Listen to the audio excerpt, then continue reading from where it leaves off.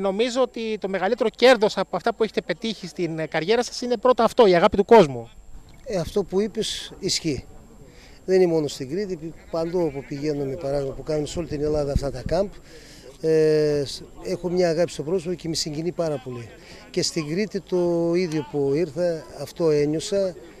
Ε, είχαμε και σε μια πολύ ωραία γιορτή στη Σαϊπή που κάναν αυτοί εκεί στο, στο Αστρίτσι. Στο Αστρίτσι, πάρα πολύ μ' άρεσε. Είχα και δύο απεινιδωτές σε σωματεία ερασιτεχνικά. Όλα, όλα αυτά που είπε προηγουμένως, ότι ε, είναι συγχαρητήρια για, για αυτή την ε, κίνηση που κάνουν. Τρομερή. Κοινωνική, ειδικά η κοινωνική κίνηση που κάνουν για αυτό το έργο.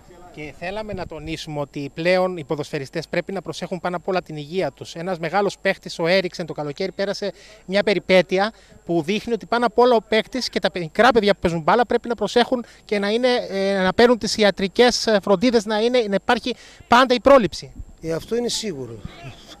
αυτό είναι πρώτα η υγεία και μετά, και μετά το παιχνίδι. Άμα δεν έχεις υγεία, πώς θα παίξεις; Αυτό συνέβη και με τον έριξαν στο Ευρωπαϊκό Πρωτάθλημα. Είδες πώς κινήθηκε ο κόσμος, πώς συγκινήθηκε, που έπαθε και την καρδιά του. Εντάξει, ευτυχώς είναι καλά το παιδί και όλα καλά. Δεν μπορούμε να μην ρωτήσουμε το μεγάλο Βάσια. Πρόσφατα έκανε μια εκδήλωση όφη για το κύπελο. Κάποιοι είπαν ότι εκείνο το βράδυ βοήθησε τον Όφη η, η αλλαγή του Βασίλη του Χατζηπαναγή. Έχουν περάσει χρόνια πολλά, αλλά η αλήθεια είναι πως οι παίχτε του Όφη είπαν ότι απελευθερώθηκαν όταν βγήκε ο Βάσια και, και ήρθε η κατάκτηση του κυπέλου για τον Όφη. Έτσι είπα. Τέλος πάντων, εντάξει. Όλα καλά, όλα καλά. Ευτυχώς για μας εντάξει. Κάποιος έπρεπε να κερδίσει. Εντάξει. Ήταν εκεί στην παράταση το μάτς.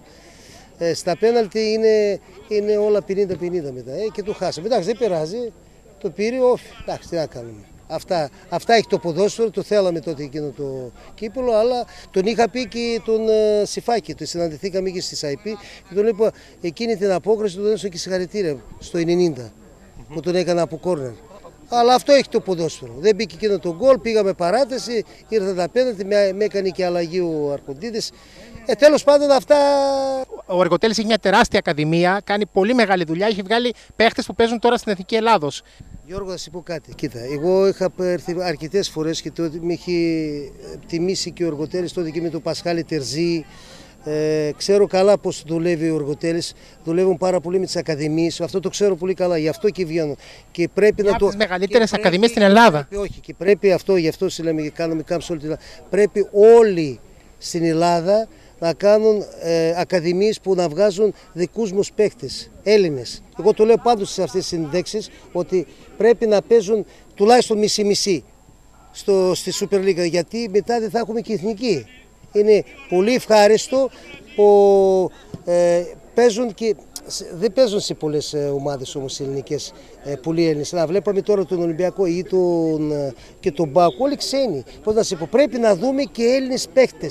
Γι' αυτό σα είπα προηγουμένως ότι μετά δεν θα έχουμε και εθνική. Όλοι έξω είναι. Θα σας ρωτήσω για την εποχή σας. Τελικά, Πελέ ή Μαραντόνα θα λέγατε εσείς; Εντάξει και οι δύο είναι διαφορετικοί. Εντάξει, δεν θέλω να κάνω τέτοιες διαφορές. Και ο Πελέ και ο Μαραντών στη δικιά του εποχή ήταν μεγάλοι παίχτε. Ούτε θέλω... Μέση ή Ρονάλντο ξεχωρίζεται. Ε, εντάξει, εγώ λίγο προς το μέση πάω. εντάξει, ναι. εντάξει, όχι ότι ο Ρονάλντο είναι. Το, ε, ήταν αυτή, αυτή η δεκαετία, εντάξει, αυτοί οι δύο παίκτες ε, πρωταγωνίστησαν.